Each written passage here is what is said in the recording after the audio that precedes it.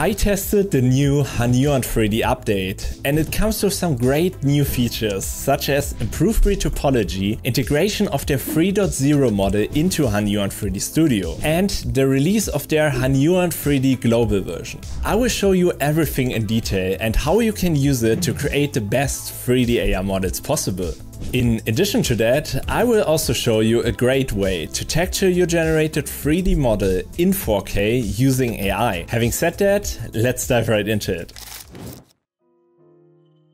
Hey guys and welcome back to the channel. Today we are gonna have a detailed look at the new Hunyuan 3D Studio 1.1 version. So basically you might see it here already. We have here the 3D Studio version 1.1 and as well their biggest feature is that we have now improved retopology. And I will show you this now in detail and how you can access it. Please note that this is not yet on the global version which I will also show you in this video. Anyways, I will link you everything down below so you can access it yourself and test it yourself in case you want. So basically what you can do is that we first opening 3D Studio you would just need to click on this wizard here and then we are already in the main menu. So basically once we are here, what we can do now is that I first go right click, translate to English. So we have the English translation on the side. And the first big change that happened is that now actually the version 3.0 is also available in Hunyuan 3D Studio. And this is actually really amazing because we don't need to generate our model outside anymore. We can do it directly in the 3D Studio and then we can directly edit the mesh here by, for example, example, retopologizing it and so on. To generate the model is I'm going here to upload multi-views. It's a bit cropped out here, but as you can see, we have here the multiple images. Then I'm going to upload my four views that I prepared already. In case you would like to check out more about how to achieve those views, I made a detailed video about it that you can check out right here on the top that I will link you. Then you can just check it out in detail how I did that and how you can do it yourself for free. Anyways, what we will do now is that I'm first selecting all the views. And once our image images are uploaded. In this example, I chose three images. We can then choose version 3.0, then the highest face count for this one to test what kind of quality we can achieve. And then we can hit generate immediately and then it will generate our 3D model. And once done, this is what we get out of the box, which I think is really cool. As you can see, the backside also worked pretty well. And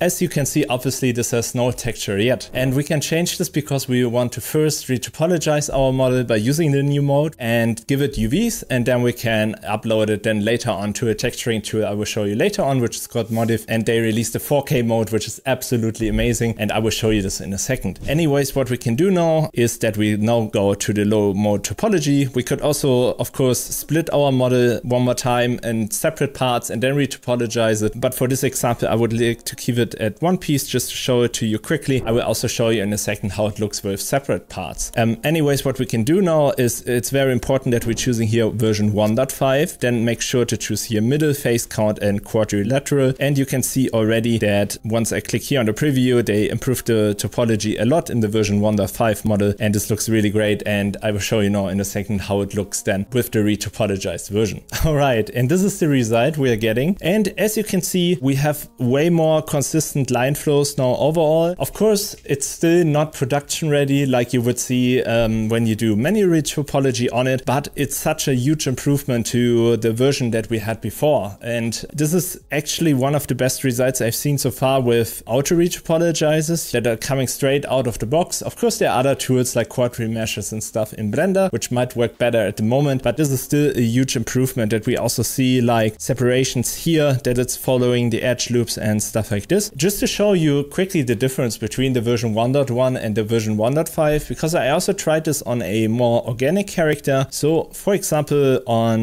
this one here. This one I also generated as a test to see how it behaves on a character. And as you can see, this is version 1.5 and it's also working quite well, I have to say, since it's coming quite straight out of the box. This is all, by the way, created with the middle face count that we have over here and quadrilateral. And as you can see, this here is version 1.1. So we might see already that we have a big improvement regarding retopology in those parts that we see that we have improved edge flow overall in our models. And this is just great to see. And I think this will only get better with each version that Hunyuan 3D is publishing here over time. Going back to our robot model, one thing I still wanted to show you is with separated parts, how it looks like. And I also did this as a test. And I think here it works even better topology wise, because you can see here that each part is is handled separately and then Hunyuan 3D can even better decide like what topology which part needs. Anyways, once we have that here, going back to our original robot over here, what we can do now is, for example, give it also UVs. One downside is here that it's always switching to triangulated mode. I didn't figure out yet why this is, but at least this is what we have right now. In case you would like to export it with quad faces, you need to go back to your mode over here and then clicking here on download and then download your FBX file, for example. And what we can do here in the UV mode is basically that I can just click on intelligent UV unfolding and then our mesh will also get completely new UVs that are adjusted. They are also not perfect, but it's a huge improvement that we have automatic UV unwrapper now in Hunyuan 3D Studio, which is great. And I will show you this in a second. All right. And as you can see, this is then the result we're getting for the new UV maps. This is something that still needs to be improved. I hope in the future that we can still mark where we want to have the edges or seams, but I will show you now in a second a way how we can uh, have a better texturing approach where we don't really care about the seams at all. Next thing I wanted to show you is now how to use Hunyuan 3D Global.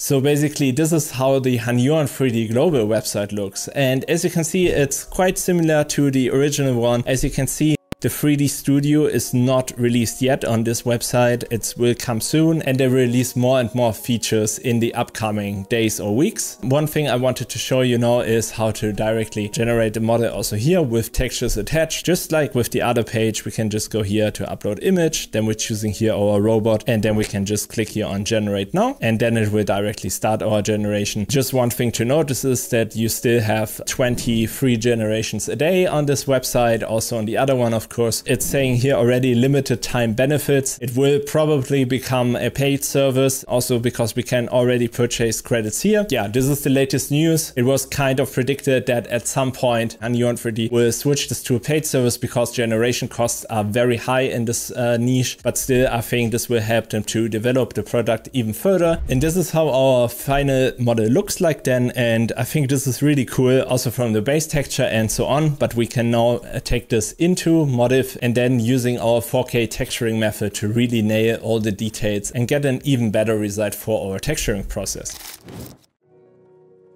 So what I will do to take this then into Modddif is that I'm going here to download and then it will download to our PC. Once we have that, we can then open a new page and this is called Modddif. Just make sure to sign up here and once you are signed in, you will then see here the interface and we can just go to new project. Uh, you can choose between the public and private one. In case you would like to use it for free, just make sure to use here the public version. You can also choose the private version. This is when you pay for the service. Anyways, I will click here now on private since I have the paid version. But as you can see, once we go to the texturing, we can then also switch between the 2K and 4K. And all the techniques I'm showing here are also available in the free version basically, except for the 4K mode. So basically what we need to do is then clicking here on import and then I can choose now now my newly generated 3D model, then I will go here into import 3D object and then it will start uploading. All right, and once uploaded, as you can see what we get right now, it's obviously black because it generated new UVs. I talked to the Modddif guys and they said it's a bug right now. It should be fixed that we can also still keep our original texture. But since we gonna create it from scratch anyways, it's no problem for this example. But otherwise you will also be possible to import models with existing textures and UVs and you can then use them for your own needs to texture them. So what we need to do is first step go here into the texturing mode. And as you can see, we can then disable this one here. And then we have our gray model that we can then retexture from scratch. We will then go to multi-view and make sure that we create here new views. Sometimes it does that automatically, but as you can see, it's kind of cut off here. So I will just delete them quickly. And once I have that, I can then create new multi-views by going here to the plus sign and then add a new camera view. And this way I can then add camera views from each side basically and that the texture projections are covering it from each view. I think this is uh, more than enough for the views and then we can have a look in a second how it will look then. We just need for the prompt, it doesn't need to be something crazy. It's more than enough to just write robot. When you want to have more precise things, you can of course change the prompt here as well. We can then upload also our reference image over here. So I will just quickly upload this one here and we can also upload our other views as well that we generated and then I will choose this one here as the reference image. It's really important what image you're choosing here for your reference because this will then decide what image it will take for the whole texturing part. And then once we have that, we can then go to generate and then it will start to project the view from each camera angle.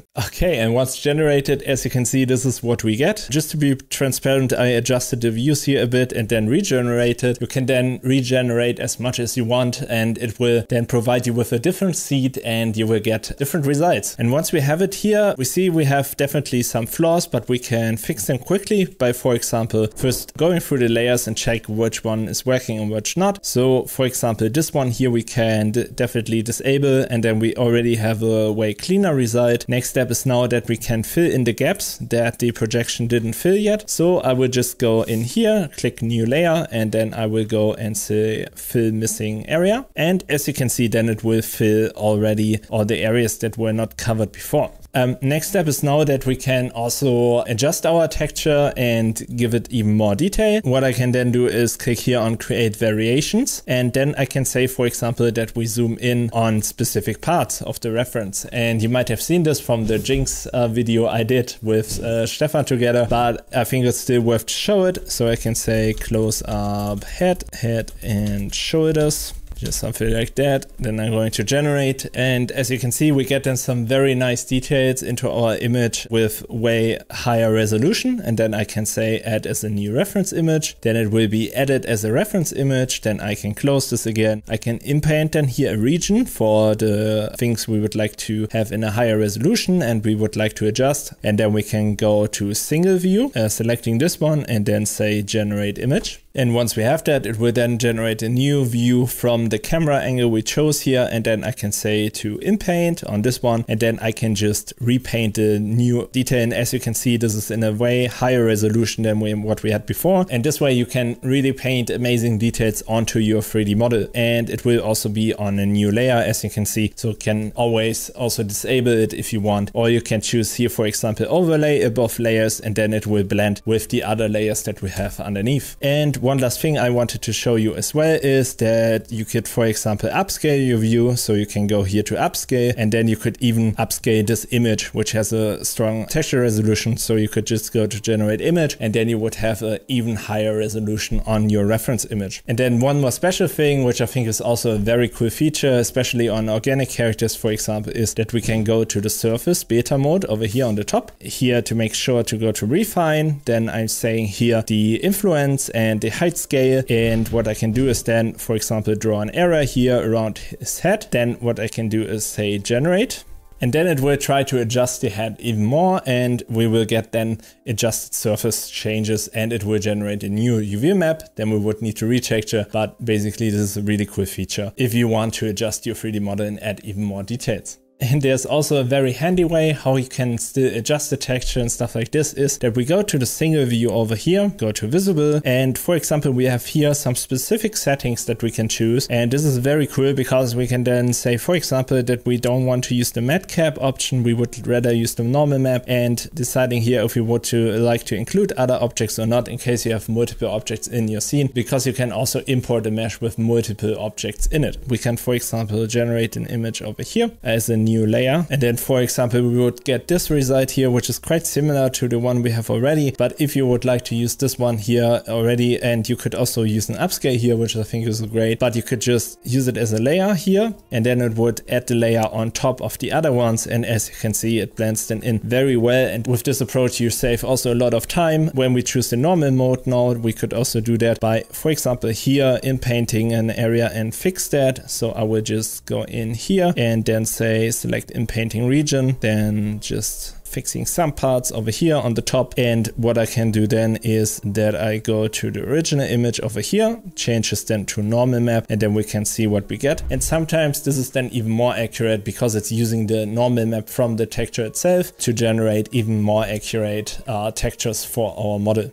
And then we would have this image here. Again, go into the inpaint mode over here and then just paint this detail on top. We could also remove stuff from a layer again by going to the erase tool over here and then just to blend it in smoothly. But I think you get the hang of it, how it's working, and I think this is really great. In case you would like to export it now, we can also do that by simply going on the three dots over here, then export, and then we can export it as a GLB, OBJ, or STL file, and we can also export our image by going to texture image and even render a turntable video, which is really cool in case we would like to present a model to a client or something already. So we can just, um, for example, click on texture image, and as you can see, this is then the UVs that get exported here. Same we can do for the model itself. So we quickly save this and say robot textured. All right, and here we then have our mesh again, what we just exported, and I can then go to the textured view. And as you can see, this is then our model textured. Of course, I can still improve a lot of things here. This is just to show for the tutorial. And you will also see here a final version then of the robot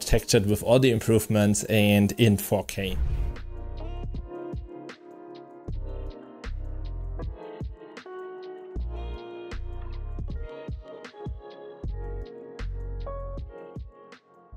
So I really hope you have enjoyed this video. As always, make sure to subscribe to the channel in case you have enjoyed this video. Make sure to join my free newsletter Future Frames and having said that, see you on the next one.